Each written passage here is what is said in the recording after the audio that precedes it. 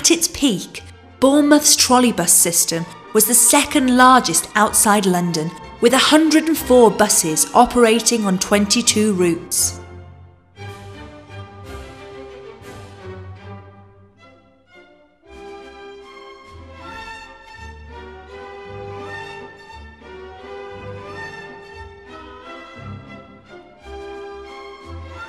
Despite their popularity, though, the trolleybuses eventually fell victim to progress and were replaced by the Go Anywhere motorbuses.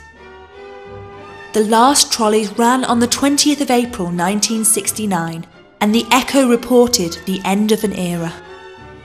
Bournemouth bade farewell to its trolleybuses yesterday, with a procession of buses from Bournemouth Pier to Christchurch and to the corporation's transport depot in Mallard Road.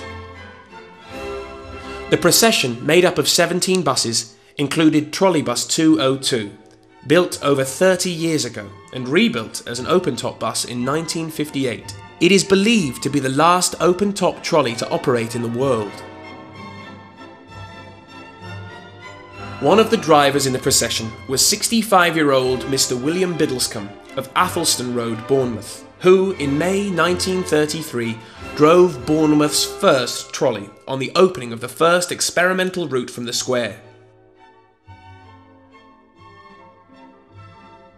Between 500 and 600 members of the public took part in yesterday's procession, which marked the end of electric road passenger transport in the town after 67 years.